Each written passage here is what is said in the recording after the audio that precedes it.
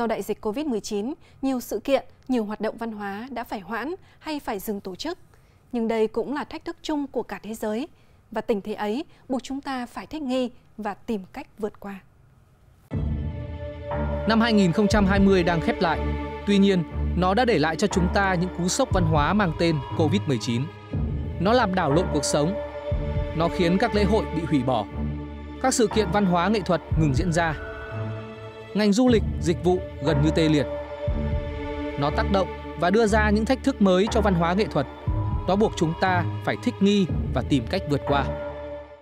Ở trong quá trình thích nghi và vượt qua đó, bên cạnh những tác động tiêu cực mà đại dịch Covid-19 gây ra cho ngành du lịch, thì bức tranh văn hóa nghệ thuật năm 2020 vẫn có những điểm sáng về sân khấu, về âm nhạc, về điện ảnh mang một dấu ấn riêng, có sức lan tỏa mạnh mẽ, đặc biệt ở trong lĩnh vực âm nhạc.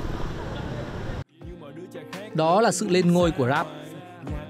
Sự bùng nổ sâu nhạc trực tuyến, MV drama và sự ra đời của một loạt ca khúc tuyên truyền về phòng chống Covid-19. Đặc biệt, ca khúc Gen Covid của nhạc sĩ Khắc Hưng đã trở nên nổi tiếng không chỉ riêng ở Việt Nam mà cả trên toàn thế giới.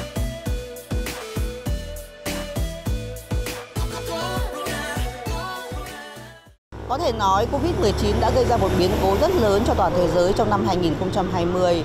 Nó ảnh hưởng gây hậu quả nghiêm trọng trong mọi lĩnh vực của đời sống văn hóa nghệ thuật.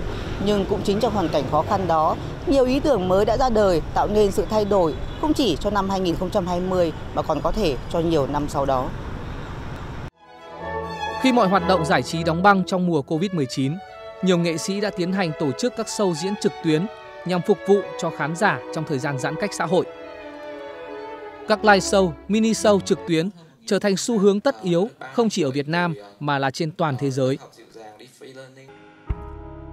Không ai có thể hình dung được một ngày họ phải ngồi yên một chỗ và nhìn ngắm tất cả triển lãm nghệ thuật, trình diễn âm nhạc, múa, nhạc kịch, các buổi bán đấu giá nghệ thuật mà sự hấp dẫn và thú vị chẳng kém gì những buổi xem trực tiếp. Trong năm 2020 thì có sự thay đổi rất là lớn trong văn hóa nghệ thuật, đó là cái việc chúng ta thích ứng nhanh hơn với lại à, việc chuyển đổi số. Tức là đến năm 2021 thì chúng ta sẽ có thêm rất nhiều các cái sản phẩm văn hóa từ âm nhạc, từ phim ảnh, từ thời trang ấy, nó thực sự là của người Việt Nam cho người Việt Nam và vì người Việt Nam. Năm 2020 còn là một năm mang lại những mất mát lớn khi hàng loạt những tên tuổi có tầm ảnh hưởng lớn ra đi để lại sự xót thương trong công chúng.